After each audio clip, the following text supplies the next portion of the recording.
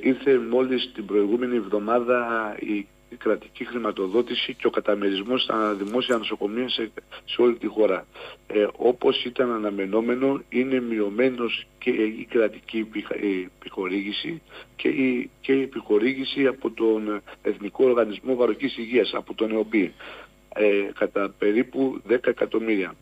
Αυτό σημαίνει ότι όπως και με την εισηγητική έκθεση των υπηρεσιών ε, και κάτι και που τονίστηκε και στη συνεδρίαση του Διοικητικού Συμβουλίου του Νοσοκομείου σημαίνει ότι το νοσοκομείο μέχρι τέλος του επόμενου χρόνου αν δεν υπάρχουν έκτακτες χρηματοδοτήσεις δεν μπορεί να ανταπεξέλθει στις ε, μεγάλες ανάγκες. Ήδη, ε, κυρία Δουλγεράκη, μόλις πριν λίγες μέρες, μετά από τρεις μήνες, ήρθε η πρώτη κρατική επιχορήγηση, μέρος της δηλαδή, στο Πανεπιστημιακό Νοσοκομείο.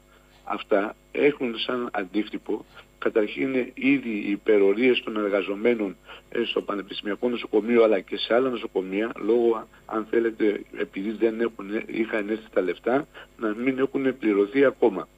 Δεύτερον, υπάρχουν πάρα πολλά ζητήματα σε σχέση με υλικά που κατά διαστήματα λείπουν και ιδιαίτερα τις αρχές των πρώτων μηνών του κάθε έτους λόγω ακριβώς της ε, χρηματοδότησης που έρχεται εκ των υστέρων, μέρος της δηλαδή, αλλά έρχεται και περικομμένη. Δηλαδή, ήδη, δηλαδή, ήδη το, τις πριν 10 μέρες συζητούσαμε ότι υπήρχε έλλειψη διαφόρων υλικών ε, μικρο, μικρής χρηματικής αξίας βεβαίως, αλλά υλικών που έπρεπε να έχει το νοσοκομείο. Όπως ε, υλικά που έχουν να κάνουν ε, με διάφορες εξετάσεις των, ε, ε, των ανθρώπων μας σε σχέση με βιολογικό υλικό.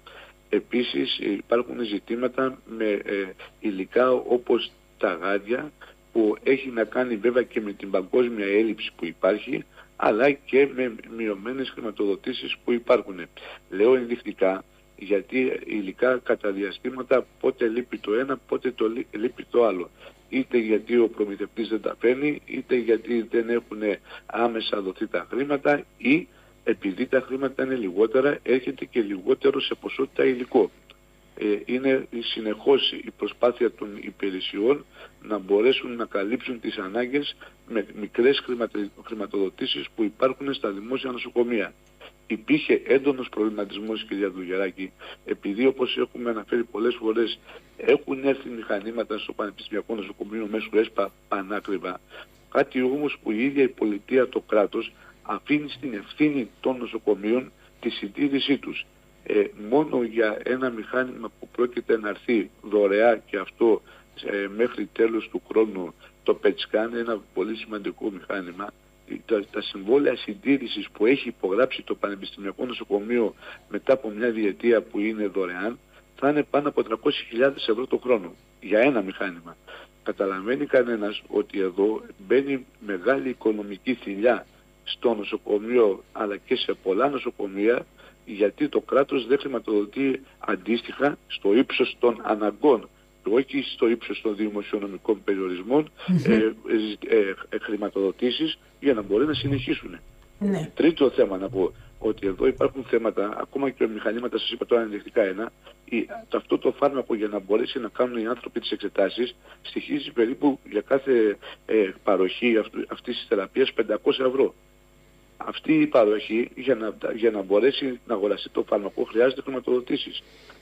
Ή επίσης το θέμα, να σας πω και πέμπτο, η αύξηση η ενεργειακή της ΔΕΗ θα έχει σημαντική επιβάρηση ε, σε, όλο το, σε όλα τα νοικοκυριά και προφανώς σαν νοσοκομεία που έχουν αν μεγάλο αριθμό, θα έχουν μεγάλη ε, κατανάλωση ρεύματος.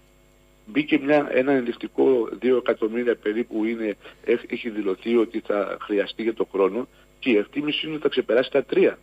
Είναι οι αυξήσεις στα δημοτικά τέλη ε, και τα τέλη ίδρυυσης που είναι σε, ε, σε τεράστιο αριθμό αυξημένα.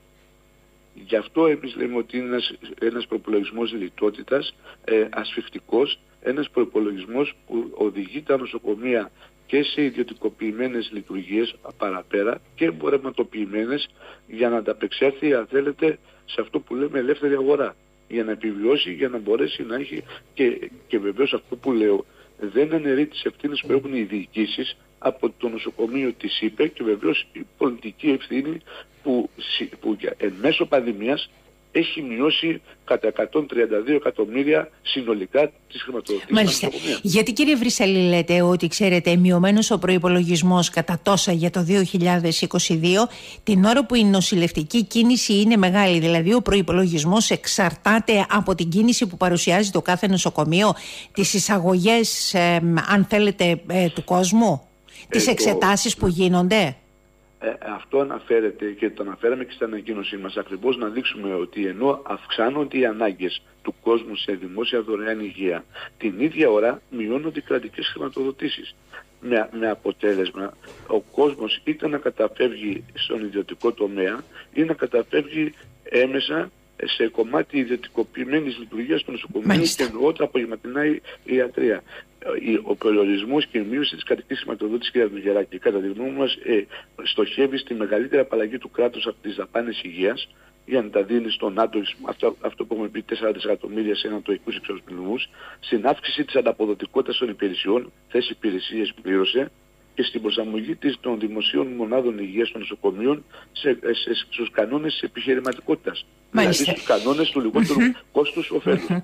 Πάντως ε, ενδεικτικά για αυτά τα οποία λέτε ε, σε ό,τι έχει να κάνει και με την παρατήρηση ότι ο κόσμος πάει στο νοσοκομείο γιατί δεν έχει να πληρώνει ε, και υπό τις παρούσες συνθήκες ότι η κίνηση για το 2021 είναι η εξής νοσηλευτική κίνηση αριθμός των εισαγωγών προσέγγισε τις 72.000 537 μαζί με τη μονάδα βραχίας νοσηλείας μια αύξηση στο 4,7% σε σύγκριση με το προηγούμενο έτος.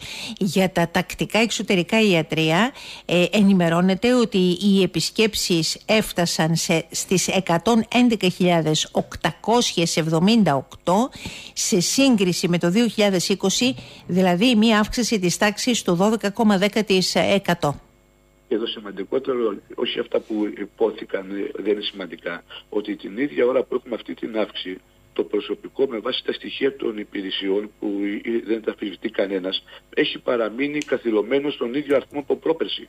Δηλαδή, ε, το, ε, αν θέλετε, το, το αφήγημα ότι αυξήθηκα ε, το προσωπικό που το λέει η κυβέρνηση, το λέει το Υπουργείο, το λέει η ΥΠΕ, το λέει η διοίκηση, δεν φαίνεται πουθενά από τα στοιχεία αυτή του είδους η αύξηση. Μάλιστα. Και καταλαβαίνει κανείς ότι εδώ περνάμε δύσκολες στιγμές και οι ασθενείς και οι εργαζόμενοι. Ε, ήδη υπάρχει σοβαρό Τα προβλήματα, νομίζω ότι όποιος πάει σε ένα νοσοκομείο, τα προβλήματα τα ξέρει. Ναι, ναι, τα ξέρει. Το θέμα είναι ότι αυτή τη στιγμή αυτό που έχουμε σπουδάσει και αυτό που θα μπορούσαμε να κάνουμε αν υπήρχε επάρκεια προσωπικού όλων των ειδικοτήτων θα είχαμε πολύ καλύτερες υπηρεσίες και αναβαθμισμένες ε, και όχι αν θέλετε να έχουμε τεντωθεί ε, αυτό το διάστημα. Κρατάω τις παρατηρήσεις σας. Σας ευχαριστώ πολύ κύριε Βρυσαλή. Καλημέρα σας.